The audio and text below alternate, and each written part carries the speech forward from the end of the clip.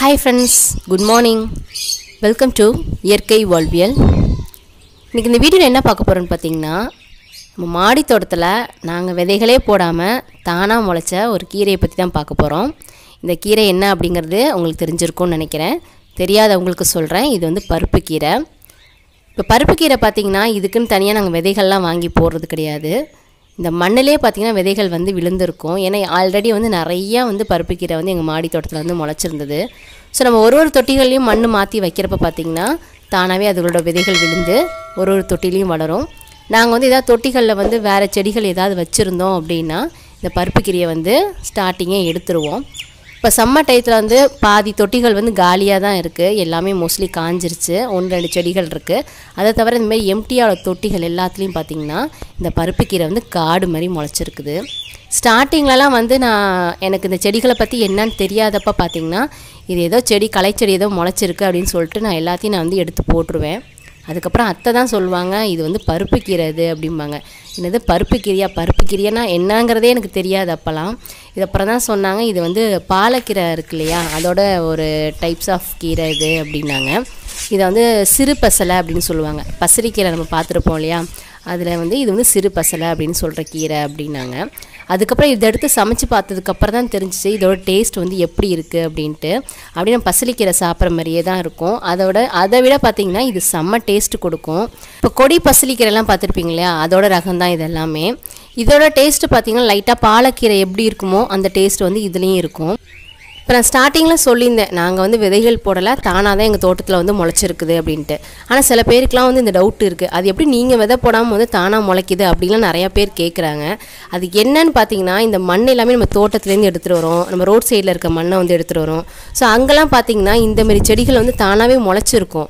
அது இல்லாமல் இந்த சாரணக்கீரை அந்த குப்பைக்கீரைலாம் வந்து நீங்கள் பார்த்தீங்கனாலே தெரியும். சில இடத்துலலாம் பார்த்தீங்கன்னா அந்த பொன்னாங்கண்ணி கீரை இருக்கும் இல்லையா? ஒரு பச்சை பொன்னாங்கண்ணி. அதெல்லாமே அங்கே நிறைய முளைச்சிருக்கும். ஸோ நம்ம அங்கேருந்து மண் எடுக்கிறப்ப பார்த்தீங்கன்னா இதில் வந்து அந்த விதைகளாகட்டும் அந்த செடிகள் வந்து இதுலேருந்து வளர்ந்து வரும். நம்ம மாடி தோட்டத்துக்கு உரங்கள்லாம் நிறையா கொடுக்குறோம். ஸோ என்ன ஆகும்? அது தானாகவே பார்த்தீங்கன்னா அந்த செடிகள் வந்து வளர ஆரம்பிச்சிடும் அதுக்கப்புறம் அதிலே நிறைய விதைகள் விழுந்து அது ஒரு ஒரு மண்ணுக்கு வந்து மாற்றி வைக்கிறப்ப வந்து ஒரு ஒரு தொட்டிகளுமே வந்து அந்த செடிகள் வந்து முளைக்க தான் செய்யுது. ஸோ இது தெரியாமல் சில பேர் வந்து கேட்குறாங்க இது மாதிரி தான் கேட்குறாங்க நீங்கள் எப்படி நீங்கள் விதை போடாமல் அப்படி தானாக முளைக்குது? அதுனா வானத்துலேருந்து குதிக்குதா? அப்படின்லாம் நிறையா பேர் கேட்டிருக்காங்க. எனக்கு வந்து என்ன பதில் சொல்ல தெரியும் ஏன்னா மெசேஜ்லேயும் நம்ம ரொம்ப டைப் பண்ண முடியாது. சில பேர் செடியை பற்றி தெரிஞ்சவங்களுக்கு அது புரியுது தெரியாதவங்களுக்கு நீங்கள் தான் விதை போடுறீங்க. நீங்களே போட்டுட்டு அது எப்படி தானாக முளைச்சிச்சின்னு சொல்கிறீங்க அப்படின்னு தான் கேட்குறாங்க இப்போ இதில் பார்த்தீங்கன்னா குப்பைக்கீரை தான் வந்து முளைச்சிருக்குது. இப்போ இந்த இதோட விதைகள்லாம் நான் வந்து போடலை தானாக தான் முளைச்சிருக்கு. ஸோ வந்து ஒரு மண் அப்படி இருந்தாலே பார்த்தீங்கன்னா அதில் வந்து சில கீரைகள் வந்து தானாக முளைக்கிறது வந்து இயற்கை தான். இதை வந்து நாங்கள் விதைகள் போட்டு தான் முளைக்கணும் அப்படிங்கிறது கிடையாது. இப்போ இந்த தொட்டிகளை பார்த்தீங்கன்னா நான் பொன்னாங்கண்ணி கீரைக்காக தான் அந்த தொட்டியே வச்சது. ஆனால் அதில் வந்து நிறைய வந்து பருப்பு கீரை தான் முளைச்சிருக்கு. இப்போ வந்து இது வந்து நானாக வச்சதில்ல அதுவாக முளைச்சது தான் ஸோ இப்போ என்ன பண்ண போகிறேன் அந்த பருப்பு கீரையை வந்து நான் எடுத்துருவேன். ஏன்னா அது பொன்னாங்கண்ணி கீரைக்காக மட்டும்தான் வச்சது. ஸோ அது மட்டும் வளரட்டும் அப்படின்ட்டு. இந்த எம்டியாக உள்ள தொட்டிகளை பார்த்தீங்கன்னா நிறைய பருப்பு கீரை இருக்குது ஸோ அதை வந்து இப்போ நம்ம அடுத்த செடி போடுற வரைக்கும் அது இப்போ இருக்கட்டும் அதில். நம்மளுக்கு கீரை வந்து வருது இல்லையா? ஸோ அதனால் அதை விட்டுருவேன் நான். இப்போ இந்த கீரை பார்த்திங்கன்னா இது வந்து சாரணக்கீரை அப்படின்னு சொல்லுவாங்க. இது வந்து ரோட் சைடும் பார்த்துருப்பீங்க. இந்தமாதிரி தொட்டிகளையும் பார்த்திங்கன்னா நிறையா முளைச்சிருக்கும். இதையும் நம்ம பறித்து சமைக்கலாம். இதில் வந்து ஒரு ரெண்டு வகை கூட இருக்குது. இது பார்த்திங்கன்னா ஒரு தண்டு வந்து க்ரீன் கலரில் இருக்குது இல்லையா? இன்னொன்று வந்து ஒரு லைட்டாக வந்து ரெட்டு பிங்கிஷ் கலந்த மாதிரி இருக்கும். அந்த மாதிரியும் இருக்கும் அந்த கீரை. இது ரெண்டுமே பார்த்திங்கன்னா ஒரு நம்ம கொழுந்தாக இருக்கிறப்ப சமைச்சோம் அப்படின்னா சூப்பராக இருக்கும். கொஞ்சம் எல்லாம் வந்து முத்தி போன மாதிரி ஆயிடுச்சு அதை நம்ம பறித்தோம் அப்படி சமைச்சோம் பார்த்திங்கன்னா லைட்டாக வந்து நாக்கு வந்து அரிக்கிற மாதிரி இருக்கும். ஸோ நாங்கள் ஸ்டார்டிங் ஸ்டேஜ்லேயே வந்து பறித்து சமைச்சிடுறது இப்போ இதெல்லாம் பார்த்திங்கன்னா அது வந்து தெனை தான் இது. இங்கே வந்து பேர்ட்ஸ்க்கு வந்து கொஞ்சமாக வந்து தெனை வைப்பேன் நான். அதில் வந்து ஒன்று ரெண்டு விழுந்து தானாக முளைச்சிருக்கு பாருங்கள் இது வந்து பேர்ட்ஸ் பார்த்திங்கன்னா காலையில் வந்து இங்கே உட்காந்து நிறையா சாப்பிடும். ஃபின்ச்சஸ்லாம் வந்து நிறையா வந்து சாப்பிடும். ஸோ அதுக்காக நான் அதை அப்படியே விட்டுருவேன்.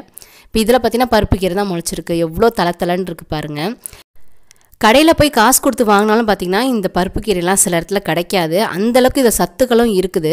ஏன்னா இதை வந்து சாப்பிட்றனால பார்த்திங்கன்னா ஹீமோக்ளோபின் நிறைய இன்க்ரீஸ் ஆகும். கம்மியாக இருக்கவங்க வந்து இதை அதிகமாக எடுத்துக்கலாம். அதேமாதிரி குழந்தைங்களுக்குலாம் ஃபீட் பண்ணுறாங்க இல்லையா தாய்மார்கள்லாம். அவங்களாம் இது வந்து சாப்பிட்றது ரொம்ப நல்லது. ஏன்னா இதில் வந்து நிறைய ஒமேகா த்ரீ இருக்குது ஸோ அது ரிலேட்டடாக தான் பார்த்திங்கன்னா நம்மளுக்கு இந்த பால் பவுடர் எல்லாமே கொடுப்பாங்க அந்த ஃபீட் பண்ணுறப்ப ஸோ அதுக்கு பதிலாக நம்ம இந்த கீரை சாப்பிட்றது வந்து ரொம்ப நல்லது. சில குழந்தைங்களுக்கு வந்து பசியே எடுக்காது. அந்த மாதிரி குழந்தைங்களுக்கெல்லாமே இந்த கீரை வந்து நீங்கள் வாரத்துக்கு ரெண்டு தடவை கூட செஞ்சு கொடுக்கலாம். இது சாப்பிட்றனால பார்த்திங்கன்னா பசியை வந்து அதிகரிக்கும். அது மட்டும் இல்லாமல் நம்ம பிளட்டை வந்து நல்லா க்ளீன் பண்ணிவிடும் ஸோ வந்து ஒரு பிளட்டை வந்து நல்லா ப்யூரிஃபை பண்ணி சுத்தமாக வச்சுருக்கோம். அதேமாதிரி நம்மளுக்கு அந்த உடம்புல உள்ள கெட்ட கொழுப்பெல்லாம் இருக்கு இல்லையா?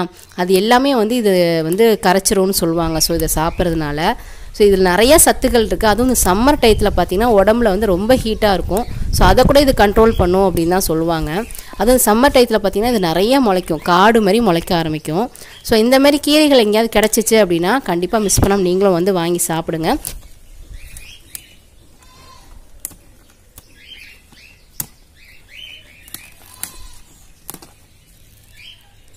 இந்த கீரை கூட பார்த்திங்கன்னா கொஞ்சமாக பாசிப்பருப்பு வெங்காயம் கொஞ்சமாக பூண்டு சேர்த்து நல்லா வேக விட்டு நம்ம அது கூட்டு மாதிரி செஞ்சு சாப்பிட்லாம்.